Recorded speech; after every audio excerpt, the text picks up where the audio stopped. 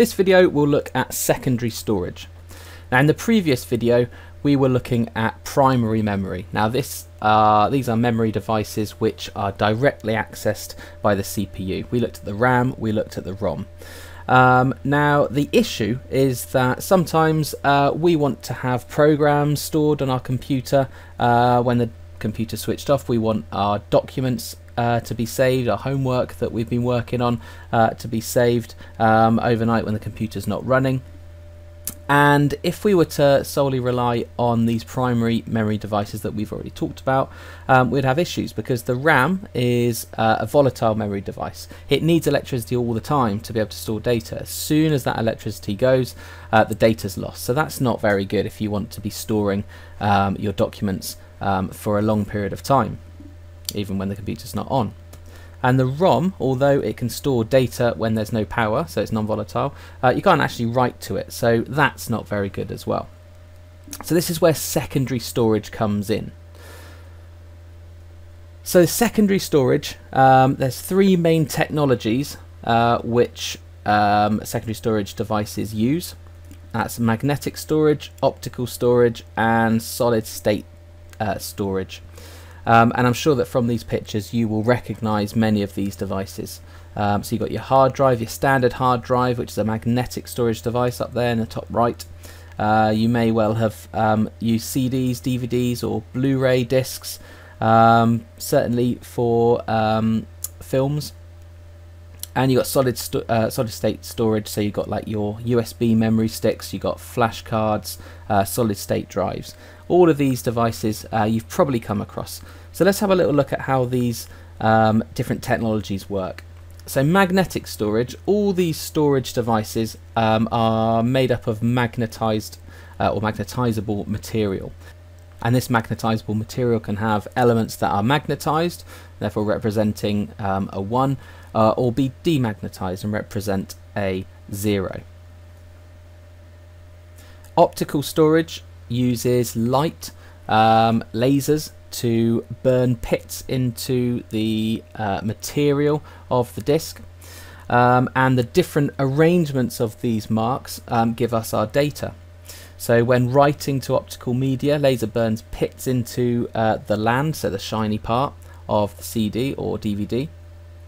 And then when reading the optical media, uh, the laser will shine a light up onto the surface and if it reflects back perfectly it knows it's hit land and therefore that would be read as a zero but when it hits a pit uh, then it doesn't necessarily reflect back in the same way it knows that it's um, it's a pit it will represent a 1 so the different arrangements of these pits and lands gives us our data and then you've got solid state storage so flash um, storage devices um, and they work by having a large electrical current forced, uh, forcing electrons through a barrier and trapping them into position. And the different arrangements of these electrons gives us our data. So now let's have a look at a few examples of different storage devices. Um, so in terms of magnetic storage devices, uh, there's the hard disk. Now many PCs across the world uh, contain a magnetic hard disk um, and they are a, an excellent choice because they've got large capacities. Um, so therefore they can hold um, large files, they can hold programs, they can hold the operating system. Uh, they've got very good um, read and write speeds. Uh, they're not the most portable, so they are heavy. Uh, they're not that durable either. No, dropping one will uh, damage um, the device. Um, they can be used over and over again, so they are very reliable. Um, and they actually, you know, per megabyte, they are pretty cheap. So they are a very good choice for um, for PCs. Magnetic tape, something that uh, they used to use for um, audio file storage um, back in the 80s, um, but they do still use it now, um, and they've got very large capacities as well. They're very good for backing up data. Um, they do have very quick write speeds, but very slow read speeds, and the main reason for that is that they um, the data is serial access. So it means that you have to um, read the data from start to finish. So if the data that you're looking for is right at the end of the tape, then obviously uh, you would need to actually work your way through the tape to get there. Uh, they're fairly small, they are portable therefore. um, and they're fairly durable as well, can be used over and over again, and they are very, very cheap. Now, in terms of optical storage, there's uh, CD-ROMs, and there's DVDs, and there's Blu-ray discs. Now, in terms of a CD-ROM, um, the capacity is not that great, about 650 megabytes. Um, the read and write speeds are okay, they're not incredibly fast. Uh, they are very, very portable. They're also exceptionally cheap. So if you had um, some program that you wanted to distribute uh, to the masses, then putting it on a, a CD or a DVD or um, Blu-ray would obviously be a variable, a very sensible um, option.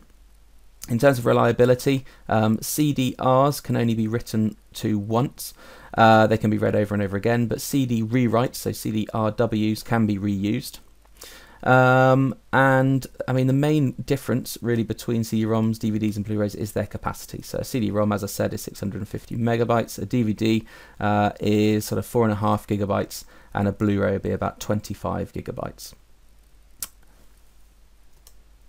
So in terms of flash memory, um, you've got your solid state drive. Now these are slowly replacing hard disks. Um, the reason why they haven't completely re replaced them now in modern PCs is simply because they're exceptionally expensive per gigabyte. Um, but the prices are coming down. Um, they can be used over and over again. Um, they're very durable and they're also very portable. So unlike a hard disk, uh, because there's no moving parts, um, that can survive uh, lots of bumps and knocks and things, um, and they can be pretty small as well, um, and therefore quite good for devices like laptops. Capacity is pretty good um, and getting better all the time. And certainly its uses to, to store the operating system, programs, large files, and so on.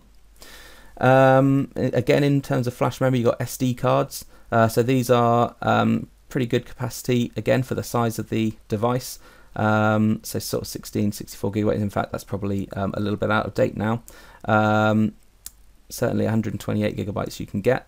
Um, speed is fast, so the read and write speeds are very quick. Uh, very, very portable because they're uh, very small. And again, because there's no moving parts, they're very, very durable and they're very good for mobile devices like cameras and phones. Uh, they can be used over and over again. Um, with solid state drive, it must be noted that there is a, a, limit as to how many times it can be used. It's a, probably 100,000 or so, um, but uh, it still does have a lifetime. Um, and again, per gigabyte, it's expensive. You've also got your flash memory sticks, your USB memory sticks. Um, again, similar to um, an SD card, it's fairly small, it's got good capacities, uh, it's very quick, it's very durable, um, but again, it's per gigabyte, it's pretty expensive. Now, there's also um, storage devices which may use um, magnetic technology, could use solid state technology, um, but this device and network attached storage is really just a hard disk uh, which is attached to a network. So this can be really good if you've got several computers in your household, for example, or in an office, and you want them all to be able to access uh, the same hard drive with the uh, the same, so they can all access the same data. So um, really, a NAS drive is just a, a the same um, sort of capacities and and uh, as portable as a hard disk, as durable as a hard disk, um, as a, as reliable as a hard disk, but it also, uh, because it connects to the network, um, there's other things to consider. So although the hard disk might have high read and write speeds, it depends on the speed of the network as to how quickly you can get your data. But it's really good for just storing uh, different programs that different uh, computers might want to make use of, um, or certainly having a central storage for your files. And then you've got cloud storage as well. So this is online storage. So don't um, think of this as uh, something incredibly special. It's not. It's just a, a load of um, servers with lots and lots of um, hard drives, for example, uh, that can uh, store your data. But the idea is that they're always online. So just like a website you can access 24/7, um, this will be um, a, a, server that is um, online that you can access 24/7 simply to store your data, and therefore it is, um, well, in, in a way, highly portable. It doesn't matter where uh, you go, as long as you can access the internet, you can access your files. Um, the speed, again, depends on uh, the speed of the network, the bandwidth. Um, the capacity is pretty much unlimited. Um, you pay for, for, for what you need. Um, and it's it's fairly expensive depending on the service. Uh, but the nice thing is that most of these um, cloud storage companies will give away some capacity for free. So you know, SkyDrive um, or uh, Google Drive might give you um, several gigabytes um, for free.